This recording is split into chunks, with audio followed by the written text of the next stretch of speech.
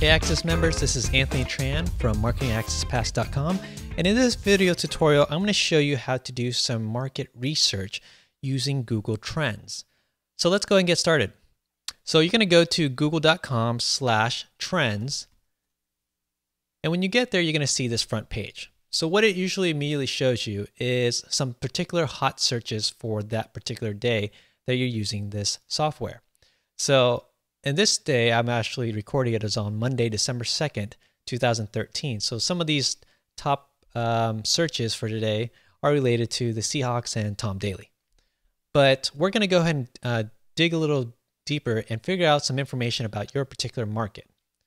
So in order to do that, you're going to go type into the search box uh, whatever your, re your related niche is. So in this case, for me, I'm going to be searching on marketing consultant.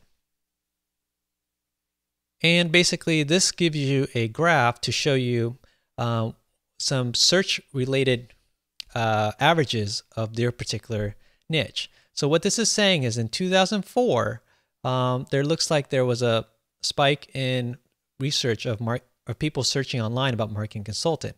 And since then, I guess it's slowly trending down, but nothing that's significant. Now, like I mentioned before, you always want to search more than once because maybe people are not typing in this particular term.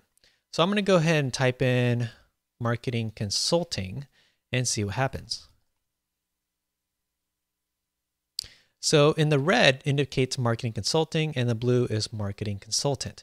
So if I had originally searched for marketing consulting and not searched for marketing consultant, I may have made the mistake of assuming that the marketing consulting industry is uh, trending down. Um, and yes, it is trending down with searches, but that may not give me the exact information that I'm looking for. So don't always assume on your first search that the information you have. I would always try to um, add a few searches just to kind of get a bigger, broader idea and, and try using different phrases because uh, you have to think about human behavior and people might be searching using different terminologies. All right, let's go ahead and uh, check out what this another information have, which is called regional interest. And this information will can tell you um, where people are searching in location wise. So I currently live in the United States, and this is very surprising to me because I would have never thought that people were searching uh, in South Africa about the position of marketing consultant, and also India and Australia. So if I had a worldwide audience, this may change the way I talk or speak to my target audience because they're not all just in the United States. They're in Australia, India, South Africa, Netherlands, um, and that may change the way I do my marketing strategy. So this is very valuable information as you can see. If you scroll down, you can see related searches, and Google does a really great job of giving you some suggestions as far as other particular searches related to what your particular uh, industry is. So if you see right here, business consultant, uh, marketing consultant jobs, these are all very relatable searches. Um, and it's stuff that I never considered. So it, it, it is something that now I may consider. It's like, wow, there are people that are looking for marketing consultant jobs, um, business consultants. So I could cater my uh, website or audience to answer these particular questions. So maybe I could write blog posts about how to land the top five tips how to land your first marketing consultant job or something like that nature. If you click on Rising, they would also give you some other ideas as far as other terminologies that are very hot topics. So as you can see right here, people are searching for marketing consultant salary and marketing consultant jobs. So these are very good rising trends. Um, and that's something that you may consider as part of your uh, topic or niche that you're you know, catering to. Let's go ahead and sc uh, scroll to the top. And on the left-hand side, there's some other um, basically buttons that you can use to do some more research. So I'm going to click on locations and see what happens. So same thing with locations, you're going to go ahead and click add a term and you're going to type in what your industry is. So I'm going to stick with this theme of marketing consultant. And in this particular case, I wanted to research what people are looking for in the United States. Maybe I'm offering a, a job or service that's only a, a local based um, regional uh, regional business.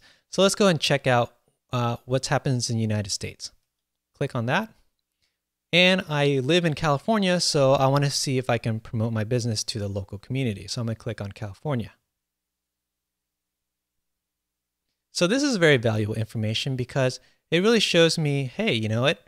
There's um, uh, maybe there's some other locations within California. So I'm going to click city.